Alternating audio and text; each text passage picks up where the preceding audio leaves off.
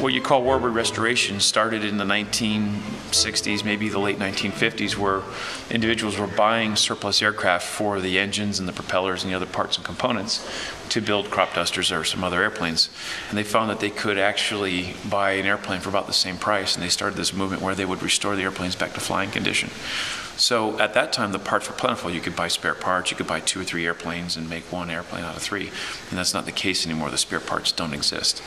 So we're using modern technology to recreate, remanufacture parts, either from original drawings or by salvaging parts that were formerly thought to not be salvageable, such as the technology with joining technologies.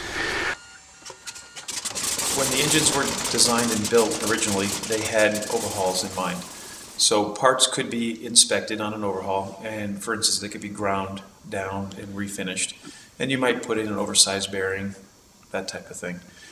There's only so many times you can do that before you reach the limits, the overhaul limits. And so we're at that point now where a lot of these parts for these engines that are still flying 60 70 years after they were designed, that even the spare parts are becoming worn out. So we began talking with Michael about trying to find ways to salvage these parts could we use your advanced technology to go beyond what would be considered worn out? For instance, the cylinder heads right here, these are forged aluminum cylinder heads. If they develop cracks or if they wear down, there, there's nothing you can do about it right now. Well, this is a forging, which is then later machined. And that's how we started speaking with you about trying to save these cylinder heads for the R2800. Same thing with the crankshaft. And that's the technology that we're trying to bring to bear to keep the Corsairs flying, keep the other World War II aircraft and engines flying. Right, so we're going to employ laser technology. We're going to provide metallic powders, which will be distributed into the laser beam. And through CAD models, we can go back and restore worn areas and help restore the, the, the components to original. And that's fantastic. That just just being able to bring all those different disciplines together because our using SolidWorks has enabled us to create the files and also with Boltworks doing the reverse engineering and the scanning, we can give you the data of what the part's supposed to look like and the damaged part, and then we'll test it in our engines. Right, it's an amazing time uh, to be uh, be part of this restoration because it hasn't been until recent times that uh, we have the the power of computer aided design and laser technology to come together to be able to actually model parts and go back and restore components to their uh, original shape. It really is exciting. And I tell a lot of people when they say, This is interesting, you're helping save a 70 year old aircraft, but what's the practical application? Well, we've got B 52s that were built, the newest one was built in 1961. And well, as for the parts and everything else, this uh, can be applied to anything. And we're proud to be part of the team. Uh, we're a small company, uh, we're entrepreneurs, uh, we're part of the whole Connecticut um, you know, history in terms of uh, you know being part of technology that's that's evolved here from Connecticut, uh, including laser, which is this is the center of excellence for laser technology. And um, being an entrepreneur and a first generation business owner, I'm happy and, uh, to be able to help my friend Craig here in uh, helping restore this wonderful aircraft, the Corsair. So, Craig, tell me, uh, do we have one of these things running? Uh, I'd love to see one of these things in action.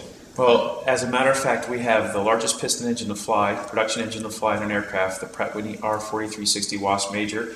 It's right outside on our test cell, and it's all prepared for our test run. We can go fire it up. Let's go see it. Let's go do it. All right. When you see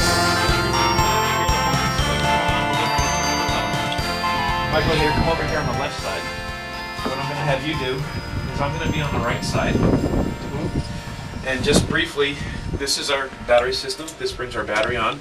We're going to have the fuel off right now because we're not trying to start it.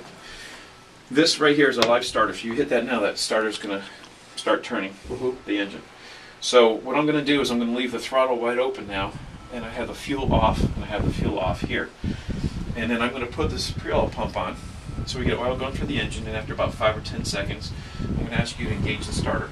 You hold the starter switch in, and then you'll be able to see, just pick a spot. When you see like over here, mm -hmm. when the blade comes by here, that'll be one, and then you just count out loud. And what we're looking for with the blades is we want to make sure that they're going nice and smooth. If they hesitate, we've got oil in the, in the cylinders. Okay. It's got a clutch on it, on the starter, so if there is oil, it'll just stop turning. Then we'll have to investigate and take the spark plug out. But we've already done it today, so we should be okay. And then sometimes I'm making things up, I'm changing the procedure because every start is usually a little bit different, especially when it's this cold. right. Okay? so we get the fuel valve on. Off the table. Yeah, that will, you might want to keep that in your pocket. Okay? And then uh, I'll shout out what I'm doing, what I'm looking at, why I'm doing it. And so we should be good to go. Okay? And you can go Batteries ahead, on. batteries on, and Starter, this clear hand's free, correct. Right? Yep. And your starter, go ahead and start. Two, one.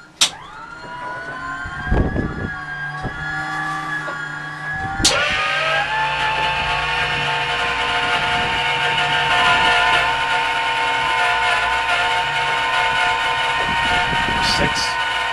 Nice and smooth. Seven.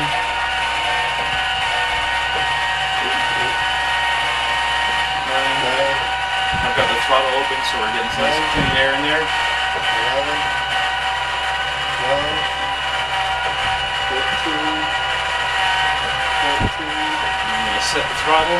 fifteen, Okay, go ahead, max hot. And we're priming.